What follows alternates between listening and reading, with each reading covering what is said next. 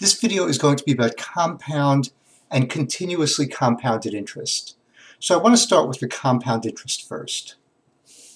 I'm going to start with a basic formula, which we're going to alter after a while. But the basic formula goes like this.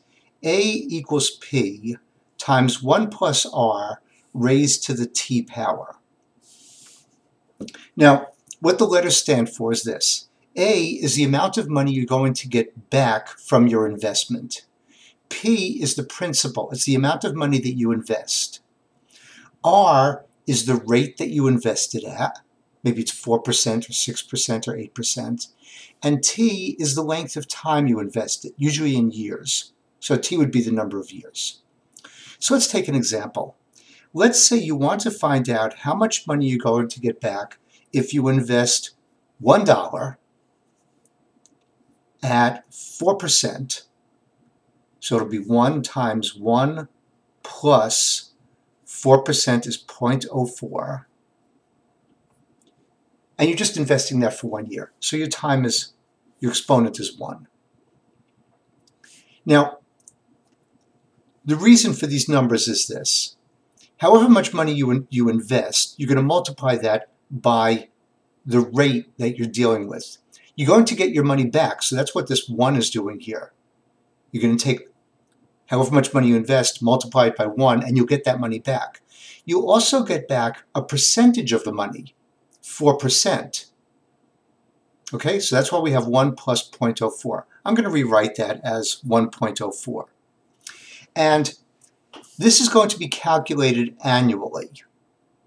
That means that once a year the bank will figure out how much money you get back. So at the end of one year, they're going to say, oh, you get back 1.04 times your $1, or you get back a dollar and four cents. Now, if you do this for two years, at the end of, two, of the second year, they're going to calculate it again. They're going to multiply it again by 1.04.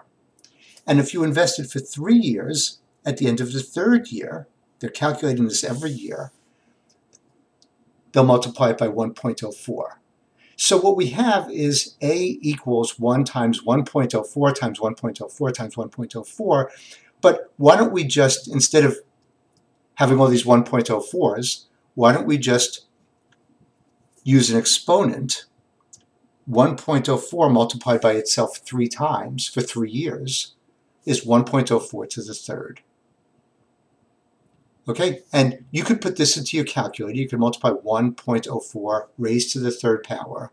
Multiply that by 1 and you get your answer. Okay, let's make it a little more complicated.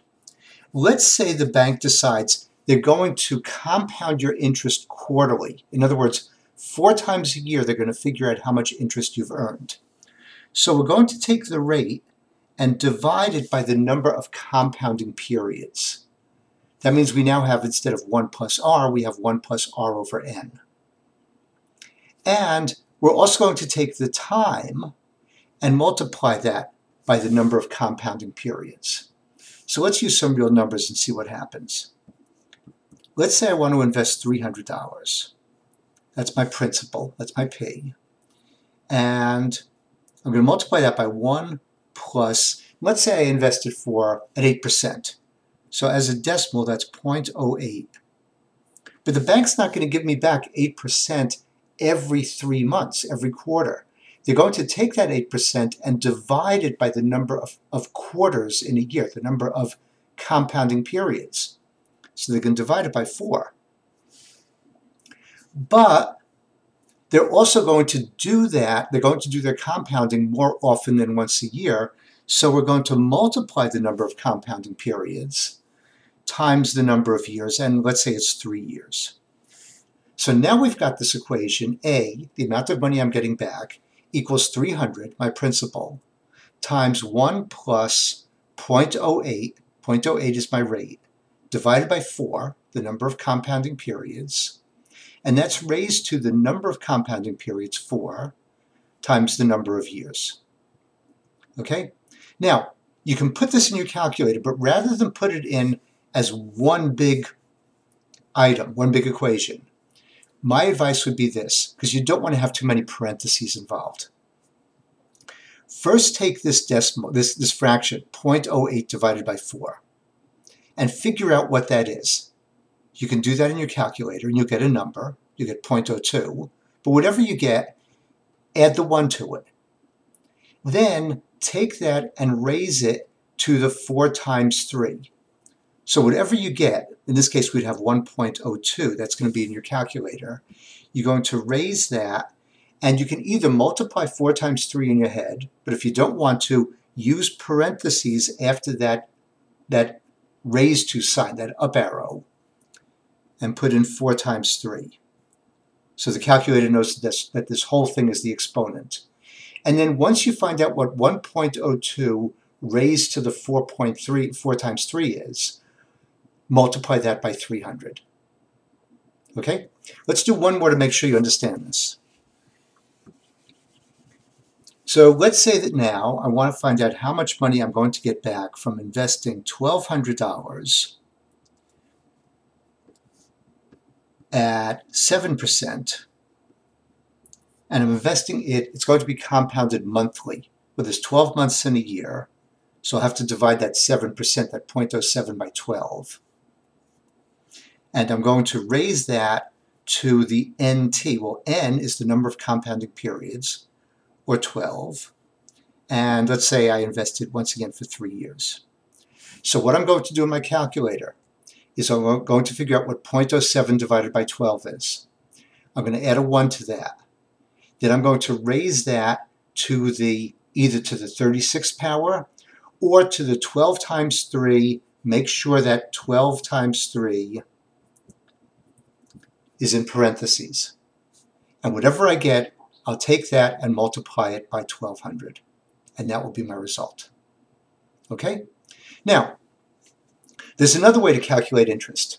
This is called continuously compounded interest. In this case, in theory, the bank compounds the interest every second. The formula they use is this. A equals P times E to the RT. A is the amount of money you get back. P is the principal. E is a number. It's a number like pi. It's, I think, 2.12 something. It goes on forever. And then we're raising it to the RT, which is the rate as a decimal times the time, the number of years. This gets very easy. So for instance, let's say I'm investing $800. So on my calculator, I'm going to put in, I'm going to put in 800. And then there's a button in your calculator. It's, it's the E to the X button. You'll find that in the same place as the LN button. It's on the left side of your calculator. So you're going to put in that E to the button. And then after you've gotten that up arrow, whatever you're raising E to, put in parentheses. So let's say we've got this for, um, I don't know, 5%, 0.05 times 9 years. So you're just going to have something like this in your calculator. 800 times E raised to the, and then in parentheses, 0.05 times 9. Press the enter button and you'll get your result. Okay? This looks like it's going to be kind of difficult. Doing, dealing with continuously compounded interest, because it works out so nicely in the calculator, is a really simple thing to do. Okay? So that's it. Take care. I'll see you next time.